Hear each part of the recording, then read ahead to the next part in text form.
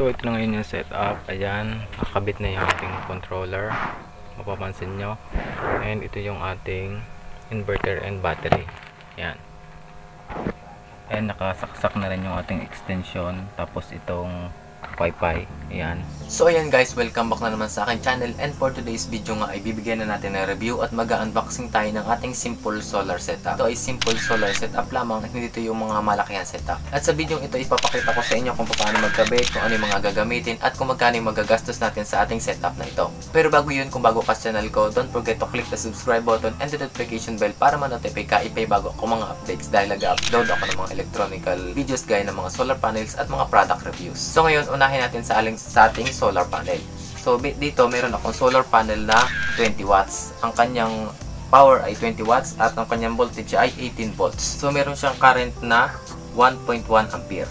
And aside dyan, pwede rin kayong gumamit ng malalaking solar panel o yung mataas yung power gaya ng 100 watts. Kapag taas ng watts is pagtaas din ng power na kanya i-produce and pagbilis din ng power na maipupundar niya mapupunta sa ating battery. And then next is kailangan natin ng wire. So ito ang ginagamit kong wire is wire ng kuryente. Pero pwede kayong gumamit ng mga 18 gauge wire and okay lang naman yung kasi mababa naman yung current ng ating mga solar panel. And next is kailangan natin ng controller or solar charge controller. So ito yung solar charge controller na ginagamit ko ay PWM at ang kanyang power na kanyang i-handle is 10 ampere. So kung ang solar panel yung is 120 watts pababa, 10, watt, 10 ampere na solar charge controller pa yung pwede nyo gamitin. So, ang ginagawa nitong solar charge controller na ito ay pinabababa yung voltage ng solar panel which is 18 volts at ginagawa niyang 12 volts to 14 volts na papunta naman sa battery para hindi masira. And dito pwede na kayo maglagay ng ilaw or yung load and pwede siyang i-timer kung anong oras lang siya gagana. And the next is ating battery. So dati yung solar setup ko, kung makikita nyo dito, ayan, yung ginamit kong solar battery ay itong aking Motolite battery na 12 volt. Hindi ko recommended ang ganitong battery kasi mababa yung kanyang capacity at mas mabilis din siyang madrain. So ngayon ang gagamitin ng battery ay yung battery na lagi kong pinopromote ito. Yan. And dumating na siya ngayon kaya unbox na natin siya.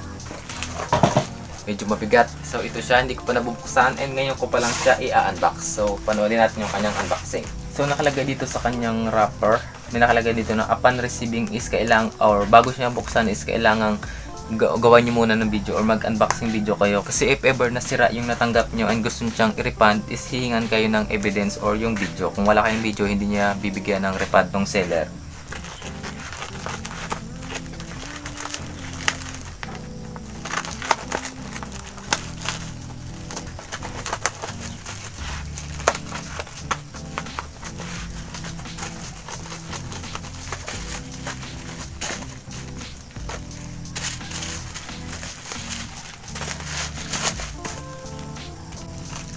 So yan, as you can see, maganda yung kanyang packaging and safe na safe naman yung product. Kapal yung kanyang bubble wrap at meron pa siyang kahon sa loob.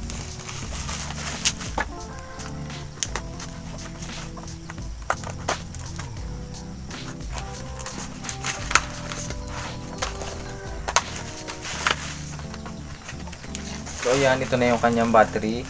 E-bike battery gel type deep cycle. So ito yung pinakamagandang type ng lead acid battery which is yung gel type. 12 volt 16 ampere hour rechargeable battery. And sobrang bigat niya. So ayan. Ito na siya sobrang bigat niya kumpara dito sa aking dating battery na motorcycle battery. And medyo mas malaki din ng konti. Ayan. And aside from this kailangan din natin ng uh, inverter. So yung inverter ginagamit natin siya para makapagpagana tayo ng mal malalaking appliances gaya ng TV, electric fan yung mga katulad nun So ito yung binili kong inverter sa Shopee din. And binuksan ko na siya para makita ko noon. And ngayon magpapakita ko nasa sa inyo ngayon. So ito yung inverter na binili ko.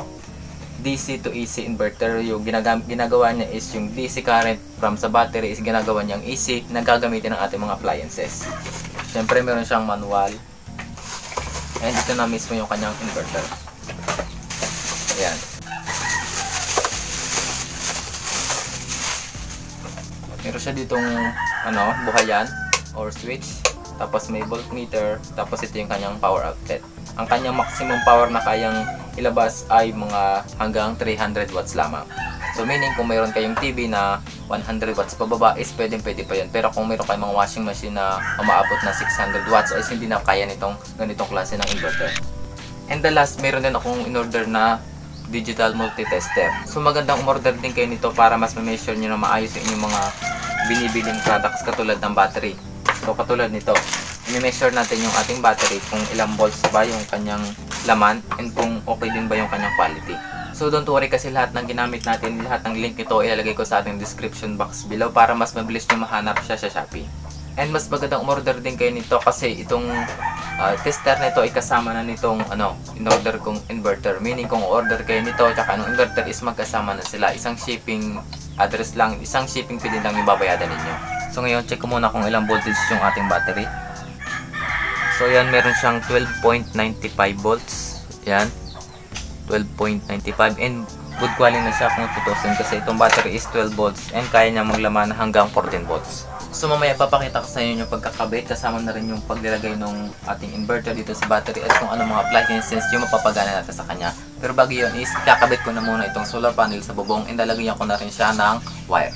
And aside from these devices na pinakita ko sa inyo kanina, recommended ko rin na bumili rin kayo ng ano, screwdriver kasi kalimitan dito is mga kailangan ng screwdriver katulad nito, may mga tornilyo. Kaya kung ang gagamitin yung mga kutsilyo lang ay mahirapan kayo, baka naman minsan is mabilog na yung kanyang tornilyo. So mas maganda kung meron kayong uh, screwdriver.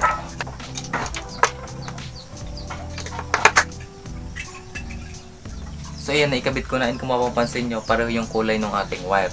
And mahirapan kayo ditong mamalaman kung alin yung positive at negative kung wala kayong digital multitester. So meaning kailangan kailangan talaga itong digital multitester para ma-check natin mamaya kung alin dito sa wire niya ang positive at negative na ikakabit natin sa ating solar charge controller. So after nito ilalagay ko na siya sa bubong dun sa may malakas na sikat ng araw para makapag-harvest na siya ng mas malakas na power. So ayun na yung solar panel sa bubong and check naman natin yung kanyang voltage using digital multimeter. So ngayon ikakabit na natin siya sa ating solar charge controller. Pero bago yun, kailangan natin munang ikabit ay yung ating uh, battery kasi yun yung unang-unang kinakabit bago pa ang solar panel. So ito yung ating battery. Ayan. And nalagyan ko din siya ng wire. So ang gagamitin ko wire is yung wire ng kuryente. And para malaman ko ulit ng positive at negative, nilagyan ko na siya dito ng ano, sign. Ayan. Tapos itong kabila is wala na. So pwede kayong bumili ng ganito, alligator clip or crocodile clip, pang clip dun sa battery. Kung ayaw naman gumamit, eh pwede naman yung itong wire na lang is pupulupot nyo lang dito sa ano, sa battery. So ikabit muna natin. So ito yung negative at ito yung positive. So unahin natin yung positive. Ayan. Ikabit natin siya dito sa positive ng battery. So ayan, okay na rin. Then pwede natin siyang ikabit sa battery. Kung gusto niyo naman, pwede siyang ipako muna sa dingding para mas maganda. Pero sa akin, is para may pakita ko muna sa inyo, is kakabit ko na lang muna siya. So, ikabitin natin sa battery. Unahan natin yung positive. Ito. Sa positive niya. Ah, isunod naman natin ang negative. So, ito.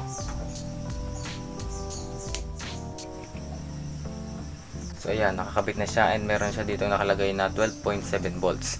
Kung magtataka kayo kung bakit iba yung voltage dito sa solar charge controller tsaka voltage dito sa ating digital multimeter kasi itong uh, ay mayroong ato resistensya kaya pinipigilan niya yung kuryente. Mantalang dito sa ano sa multimeter wala siyang voltage drop or hindi bago yung hindi magbabago yung kanyang uh, output na mini-measure kasi nga ito ay direct. So next naman isunod natin ating solar panel. So ito yung wire ng ating solar panel ano. Kaya nga meron tayo ngayong ano digital multimeter para i-check kung alin dito yung positive at negative. Kaya talaga mahalaga na magkaroon tayo ng uh, digital multimeter. So check natin kung alin ang positive at negative. So ayun tama. At meron siyang 19 volts, 19 point yan, 19.18 or basta 19 volts. And kung mapapansin natin, ito yung positive at ito naman ang negative. So, unahin natin ikabit ang positive. So, ito. So, ilagay natin siya sa solar panel dito sa una.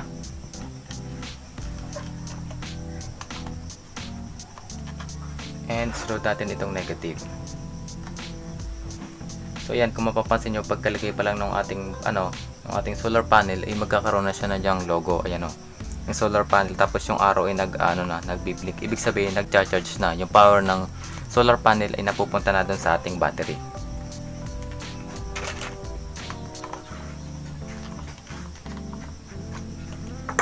So ngayon, after nito, pwede natin siyang ikabit dito sa dingding. Isi-set up ko na lang siya sa aming nang mas maayos after kung siyang i-video at may pakita sa inyo. Ngayon naman, dito naman tayo sa ating inverter. Para ma-try natin kung makakapagpagana ba tayo ng mga appliances, kaya ng electric pan, at makapag-charge ng cellphone dito sa kanyang power outlet. So itong negative, ikabit natin sa negative ng battery. At ito naman positive, ikabit natin sa positive ng battery.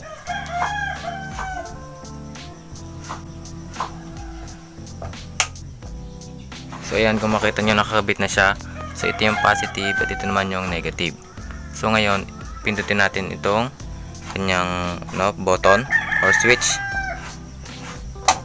So ayan, napindutan natin siya at gumagana siya.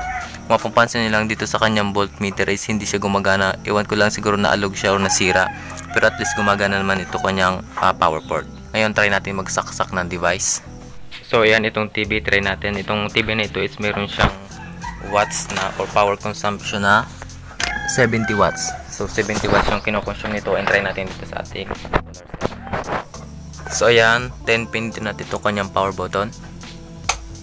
Nabuhay na rin yung TV.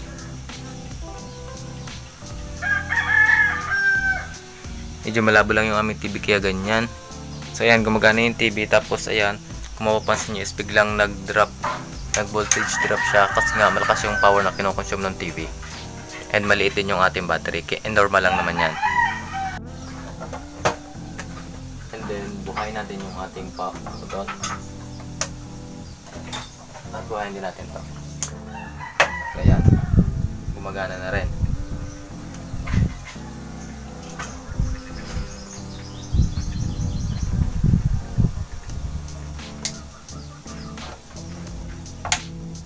Ngayon, check naman yung power output na binubugan ng ating inverter. Ayan. Buhayin natin to. Tapos, i-check natin. So, ayun. Naglalabas siya ng 295 volts. Ang kabila naman ay 293 volts. Medyo mataas yung kanyang power output na binibigay. Try naman natin i-check yung kanyang power output kapag may nakasaksak na appliances. So again, buhayin natin ito. So ayan. After nun na is-check natin. So ayan, 300, 240 volts yung kanyang binibigay. So okay lang. Mabilis namang magkaroon ng voltage drop kapag naglagay na tayong appliances. So ngayon, dako naman tayo kung magkakano yung magagastos natin sa bawat devices na gagamitin natin. So unahin natin dun sa ating solar panel. Yung aking solar panel na 20 watts, ang price niya is 650 pesos, hindi pa kasama yung kanyang shipping fee. So basically yung ating 650 pesos, ayun lamang yung product mismo. Wala pa dun yung kanyang shipping fee. So yung ating namang solar controller, ayun, ang price naman niya is 230 pesos. And din yung ating wire naman, hindi ko na sinama dito kasi pwede mo kayong gumamit ng mga wire na galing dyan sa inyong bahay. And next, yung ating battery naman, ang price naman ng ating battery is 950 pesos. At yung inverter naman is 545 pesos. Ito naman yung tester, recommended ko rin na bumili kayo nito kasi para ma-measure nyo, para ma-monitor nyo palagi yung voltage ng inyong battery para hindi kayo ma-overdrain. Ang price ito is 178 pesos. So all in all, ang gastos natin dito sa gagamitin natin kung bibilhin nyo is 2,553 pesos. Wala pa doon yung kanyang shipping fee. So meaning pinakamababa lang na presyo yung ating 2,553 pesos na yon. Pwede ba siyang magbago depende sa shipping fee dyan sa inyong area. Ngayon naman ano naman yung pag-set up ko din sa ating solar charge controller. Yung kanyang floating floating floating bolts or kapag full charge na, sinet ko siya sa 14 volt. Pero dapat iset nyo siya sa B1 which is sealed. Kasi pag nilagay nyo sa B2, ay mag-ibig sabihin nun is pang gel type. Although gel type ito, kaso pag naka gel type pa siya dito, hindi na siya nasa-set up hanggang 12.6 na yung maximum na voltage na pwede yung input doon. Kaya ang ginawa ko is inilagay ko siya sa B1. And yung low voltage disconnect naman doon, nakapag uh, low bat na yung ating battery and i-disconnect na ng ating solar charge controller yung ating load. And nilagay ko siya sa 12 volts which is 25% na lang. Hindi niya siya pwedeng i bawasan pa hanggang 11% kasi 0% na yun at pwede siyang maba, masira yung battery. And ito yung isang conversion yan kung percent into voltage. So ngayon, gaano naman katagal uh, gagana yung ating mga appliances using this inverter at gamit itong ating 16 ampere hour battery. So based on my computation, yung ating battery ay mayroong 16 ampere hour tapos 12 volts. So pinag pag pinag-time sila, ang sagot doon ay 192 watts. And considered natin yung 80% depth of discharge, ang lalabas doon is 153 watts. So 153 watts divided by yung ating power ng ating ano, ating appliances. For example, ito, ito ay 11 watts. So 153 watts divided by 11 watts, ang sagot dun is 13.9.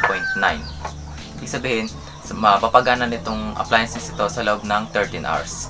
So kung gusto niyo pang computein is ang gawin niyo lang is i-divide na i-divide niyo yung 153 watts kung ano mang appliances yung gusto niyo gamitin. For example, nagamit kayo ng electric pan na mas malaki o kaya ilaw. Halimbawa yung ilaw na 12 watts. So 153 watts i-divide niyo sa 12 watts. So ang sagot doon, yun yung hours na pwede siyang gamitin. So ngayon, paano naman kung gusto niyo pang magdagdag ng appliances and kung gusto niyo uh, gumamit ng mga appliances mas matagal. So ang gawin niyo lang is bumili kayo ng another battery. For example, ito 16 ampere hour. Bibili ulit kayo ng 16 ampere hour na battery. Ibig sabihin, gawin siyang dalawa o hanggang tatlo hanggang apat kung ilan ang gusto nyo. And i-connect nyo lang siya sa series. So, papagtikit-tikit nyo lang yung positive at lahat ng negative. So in that case, mas tatagal malowbat yung inyong battery. Yun nga lang, mas matagal din siyang ma-full charge. And ngayon, gaano naman katagal bago ma-full charge itong battery gamit ang ating solar panel. So dito sa amin, makulimlim, hindi gaanong sisikatan ng araw kasi marami nakakakanlong. And yung aming solar panel is sa my computation, kaya lamang niya magbigay ng 9 ampere kada araw. And kung uh, tatanungin naman dito naman sa ating battery is pwede naman siya, uh, match naman silang dalawa kasi madala naman siyang gamitin. Tsaka hindi naman siya ganong lulubatin ng ayos kaya match na rin yung 20 watts na solar panel sa ating 16 ampere hour na battery. Pero sa inyo kung palagi nyo siyang gagamitin at marami kong appliances na ginagamit sa umaga is pwede kayong bumili ng mga 100 watts na solar panel. And kung gusto niyo pa ng ibang uh, mas better na explanation kung paano magkabit ng mga solar panel and solar charge controller, ito meron akong ginawang video, panoorin nyo lang. And para naman sa mas maganda pang explanation about sa ating solar charge controller, ginawan ko siya ng video, ito panoodin nyo din. And sinabi ko dyan yung mga tamang paggamit, gagawin na rin yung kanya mga timer. So yun lang muna for today's video and lahat ng link na ginamit natin ilagay ko sa ating description box below para i-check nyo na lang doon or i-click nyo na lang para mas mabilis nyo siyang mahanap sa Shopee. So ayun lang for this video. Kung may question kayo, just comment sa ating comment section below and thank you for watching.